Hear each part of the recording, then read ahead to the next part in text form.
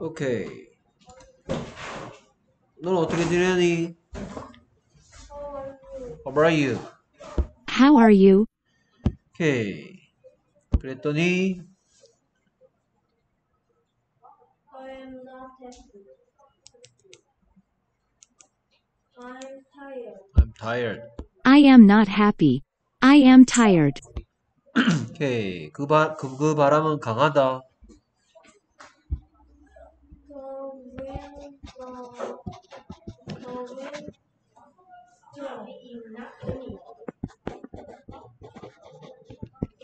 오케이. strong의 뜻은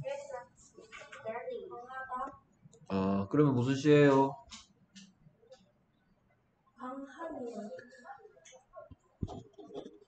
그러면 이게 문장입니까? 하다시도 없고 비동사도 없는데 is strong.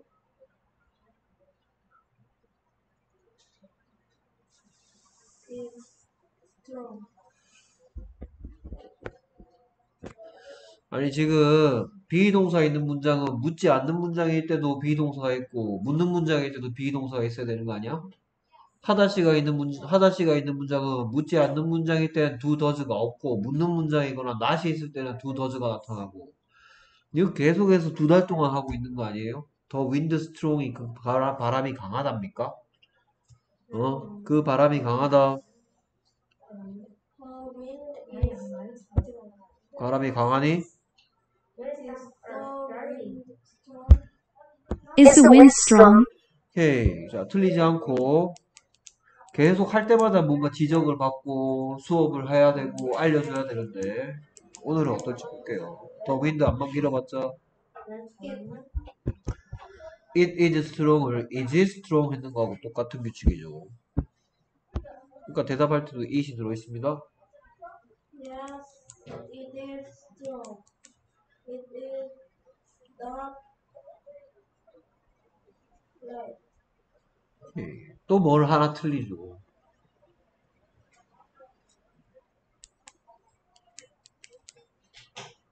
light가 무슨 뜻이에요? light.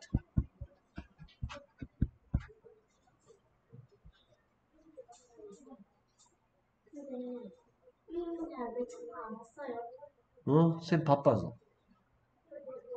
그럼 화요일 날 이거예요? 뭐, 그 다음부터. 라이트가 뭔 뜻이에요?